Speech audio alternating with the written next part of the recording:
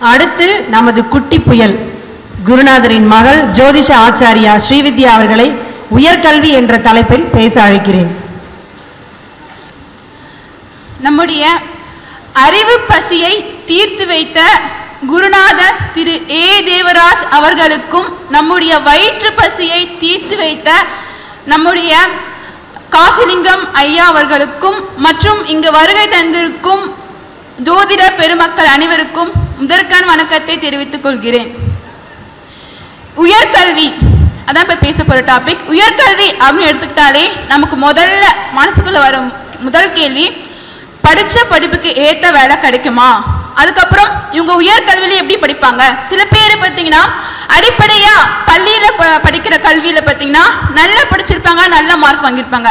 ஆனா உயர்கல்வின்னு வந்துட்டா மட்டும் படிப்புல கொஞ்சம் லோ ஆயிடுவாங்க. இன்னும் சில பேரு பள்ளி படிப்புல மோசமான நிலையில இருந்திருப்பாங்க. ஆனா உயர்கல்வியில நல்லா படிச்சு கேம்பஸ் இன்டர்வியூல செலக்ட் ஆகி ஒரு பெரிய இடத்துக்கு போயிருப்பாங்க. இந்த மாதிரி ஏன் ஆகுது? அப்படின்னா நான்காம் பாவம் அப்படின்றது ஒரு மனிதனுடைய அடிப்படை கல்வி. ஒன்பதாம் பாவம் அப்படின்றது உயர்கல்வி இந்த உயர்கல்வி அப்படின்றது தான் பார்த்தீங்கன்னா ஒருத்தருடைய அந்த வாழ்க்கையை தீர்மானிக்குது. இந்த உயர்கல்வியில படிச்ச படிப்புக்கு ஏற்ற வேலை ஒருத்தர் கிடைக்கணும்னா அங்கு இரட்டைப்படை பாவங்கள் ஒன்பதாம் பாவம் இரட்டைப்படை பாவங்களாக விளங்கும். இரண்டு நான்கு ஆறு பத்து போன்ற பாவங்கள் தொடர்பு கொண்டா மட்டும்தான் அவங்க ஈஸியா படிச்ச படிப்புக்கு ஏத்த மாதிரி ஒரு வேலையை கேம்பஸ் இன்டர்வியூலயே செலக்ட் ஆகி போக முடியும். இது தவிர ஒன்பதாம் பாவம் மூன்று மூன்று ஏழு பதினொன்று போன்ற பாவம் தொடர்பு கொண்டிருந்தா கொஞ்சம் ரிலேட்டிவிட்டியா இருக்கும். ஆனா படிச்ச படிப்புக்கு அப்படியே போற வேலை இல்லாம கொஞ்சம் இருக்க இருக்கும். ஆனா ஒன்பதாம் பாவம் ஐந்து ஒன்பது போன்ற பாவம் தொடர்பு கொள்ளும் போதுதான் உயர்கல்வியில என்ன படிச்சாங்களோ அந்த படிச்ச படிப்பை அப்படியே பணமா மாத்த முடியாது.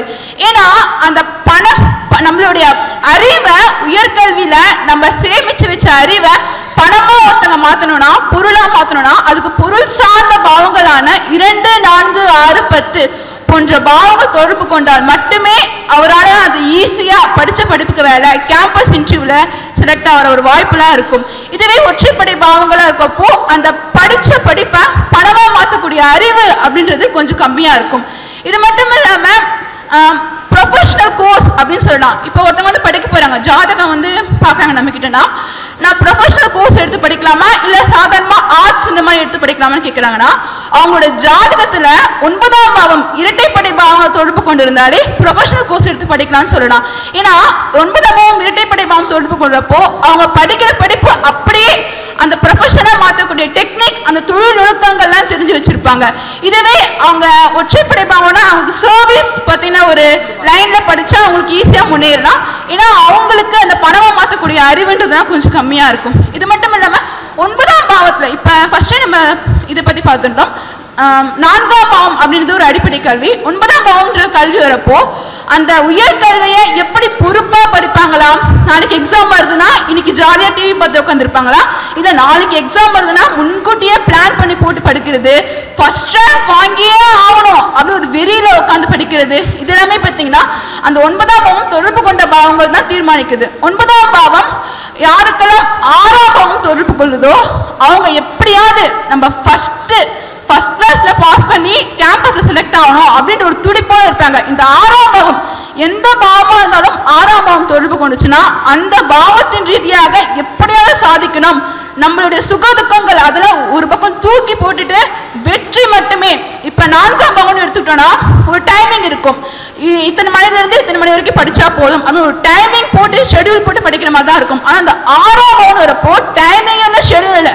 வெற்றி கண்ணில் பார்க்கிற வரைக்கும் நம்ம ஓடிக்கிட்டே இருக்கணும். என்னைக்காவது நம்ம கண்ணில் வெற்றி பட்டுச்சுன்னா அன்னைக்கு கூட நிறுத்தக்கூடாது. நம்ம இன்னும் அதை விட மிகப்பெரிய வெற்றி தொடணும் அப்படின்ற ஒரு வெறிய கொடுக்குற பாவம் ஆறாம் பாவம். இதனால இவங்க ஃபர்ஸ்ட் ஃபர்ஸ்ட் ஃபர்ஸ்ட் அப்படின்ற ஒரு ஓட்டத்துல ஓடிக்கிட்டே இருப்பாங்க. அதே மாதிரி ஃபர்ஸ்ட் கிளாஸ்ல பாஸ் பண்ணி ஒரு மிகப்பெரிய ஒரு ஒரு வேலைக்கும் அவங்களுக்கு உயர்கல்வி மூலமா இருப்பாங்க. ஒரு அதிகாரமிக்க ஒரு படிப்புனா படிப்பாங்க. இதே ஒன்பதாம் பாவம் நான்காம் பாவத்தை தொடர்பு கொள்ளும்போது இவங்க ஒரு டைம் டேபிள் போட்டு படிக்கிற மாதிரி இருப்பாங்க. சலிக்க மாட்டாங்க. அதாவது இவங்க புதுசாக எதையும் படிக்க மாட்டாங்க. படிச்சதையே திருப்பி திருப்பி படிப்பாங்க. பொதுவா மெக்கானிக்கல் இந்த மாதிரி லைன்ல கூட இவங்க படிப்பாங்க. அது மட்டும் இல்லாம நான்காம் பாவம் அப்படின்னு வரப்ப பார்த்தீங்கன்னா இவங்க ஒரு பிடிமானம் எப்பவுமே இருக்கும். நம்ம ஏதாவது ஒண்ணு சாதிக்கணும் அப்படின்ற ஒரு வேகம் இருக்கும். ஆனா ஒரு நம்ம என்ன பண்றோமோ இல்லையோ வெற்றி கிடைக்குதோ தோல்வி கிடைக்குதோ நம்ம செய்ய வேண்டிய வேலையை கரெக்டா செஞ்சா போதும். அப்படின்ற ஒரு விஷயத்தை மட்டும் விட்டு கொடுக்க மாட்டாங்க. எத்தனை தோல்வி கண்டாலும் எத்தனை துயரங்கள் பட்டாலும் நம்ம இத்தனை மணிக்கு எழுந்து படிக்கணும். நம்ம வேலை இது அப்படின்ற ஒரு பொறுப்புணர்வு கொஞ்சம் அதிகமா இருக்கும். இதனால ஆனா ஒற்றைப்படை பாவம் அப்படின்னு சொல்றப்போ மூன்று ஏழு பதினொன்னு அப்படின்ற ஒரு பாவம் தொடர்பு கொள்றப்போ அவங்களுக்கு படிக்கணும் அப்படின்ற ஒரு அவசியம் இல்ல. அவங்க அவங்க கிளாஸ்ல அவங்க மாஸ்டர் என்ன நடத்துறாங்களோ அது மட்டும் இல்லாம எக்ஸ்ட்ராவா நிறைய நாலேஜ் இருக்கும். ஒரு அந்த விஷயத்தை மட்டும் மையத்தை மட்டும் தெரிஞ்சு வச்சுக்கிட்டு போய் எக்ஸாம் எழுதி போய் நபராக கூட இருப்பாங்க. இதெல்லாம் படிக்காமையே ஈஸியா பாஸ் ஆகக்கூடிய ஒரு நபராகவும் இருப்பாங்க. இதனால ஜாதகருக்கு ஒன்பதாம் பாவம் மூலமா ஒரு மிகப்பெரிய வேலை கிடைக்காது. இருந்தாலும் அவங்க படிச்ச படிப்புக்கு ஒரு ரிலேட்டிவிட்டியா தான் இருக்கும் அவங்க செய்யற வேலை.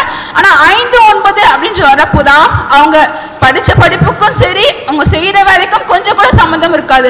ஆனா இதுல எட்டு பன்னெண்டு இந்த மாதிரி வரப்போதான் கொஞ்சம் அவங்க படிச்ச படிப்பு ஒரு மிகப்பெரிய படிப்பா இருந்தாலும் வேஸ்டா போயிட்டு கஷ்டப்பட்டு அரியர் வச்சு இது மாதிரி படிக்கிற மாதிரிலாம் இருக்கும். ஆனா ஈஸியா படிச்சுட்டு மெரிட்லயே வந்து பாஸ் ஆகி கூட போறவங்க எல்லாருமே பாத்தீங்கன்னா பொதுவாகவே கேம்பஸ் இன்டர்வியூல எல்லாருமே இரட்டை பாவங்க தொடர்பு கொண்டிருந்தால் மட்டுமே முடியும். அது மட்டும் இல்லாம இப்ப நம்ம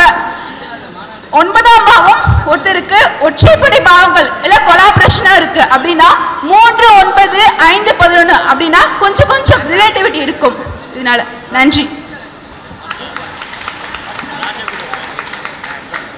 நன்றி நன்றி ஸ்ரீவித்யாமா புதனின் காரகத்தை மிகவும் அதிகமாக கொண்டதாலோ என்னவோ கணினியை தொட்டு தொட்டு கைகள்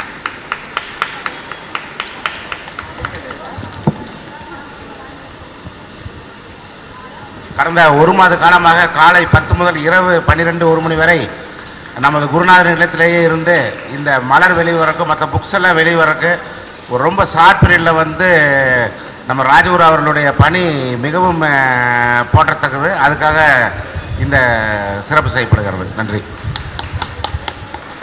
சார் ஒரு முக்கியமான விஷயம். புக் கவுண்டர் க்ளோஸ் பண்ண போறாங்களா? யாராவது புக் வாங்காம இருந்தீங்கன்னா போய் வாங்கிக்கோங்கன்னு சொல்றாங்க சார் யாராவது வாங்காம வெயிட் பண்ணீங்கன்னா கொஞ்சம் வாங்கிக்கோங்க சார் புத்தகங்களை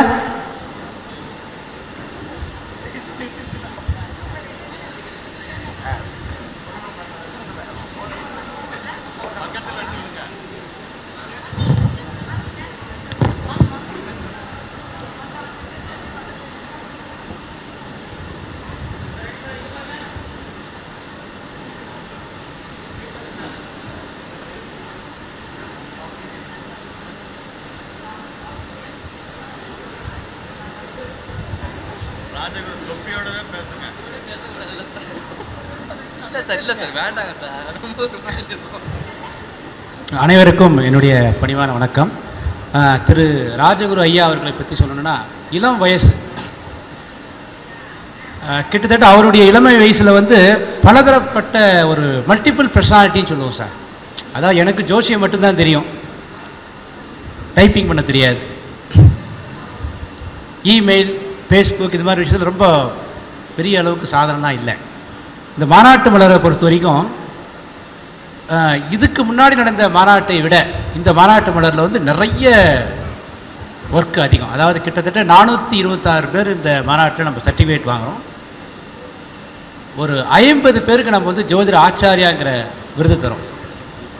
கிட்டத்தட்ட ஒரு 600 பேர் இந்த 600 பேருக்கு சர்டிஃபிகேட் போடுறது ஆர்டிகிள் எழுது முந்நூற்றி இருபத்தாறு பக்கம் ஆர்டிகிள் எழுது இதையெல்லாம் எப்போ ஆரம்பிச்சோன்னு பார்த்தீங்கன்னா நம்ம கிட்டத்தட்ட ஆகஸ்ட் டுவெண்ட்டீத்துக்கு அப்புறம் தான் ஆரம்பிச்சோம்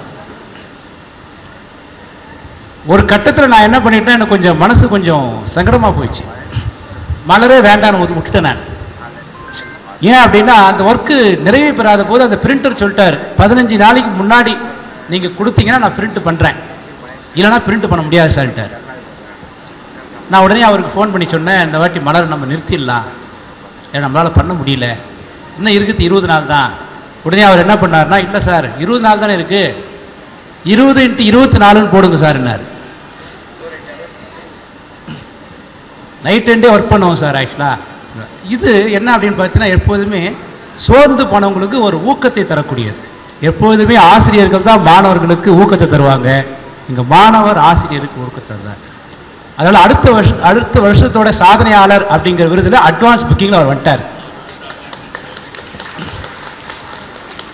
உண்மையை சொல்லிடுறேன். ஏன்னா இந்த வருஷத்திலே வரணும். ஆனால் நம்ம ஒரு ஒரு கொள்கை சொல்லிட்டோம். வருஷத்துக்கு ஒருத்தருக்கு தான். அதனால் அடுத்த வருஷத்தில் அவர் முந்திக்கிட்டார். அவருக்கு என்னுடைய பணிவான நன் வாழ்த்துக்களை தெரிவித்துக் கொண்டு அவரை பேச அழைக்கின்றேன்.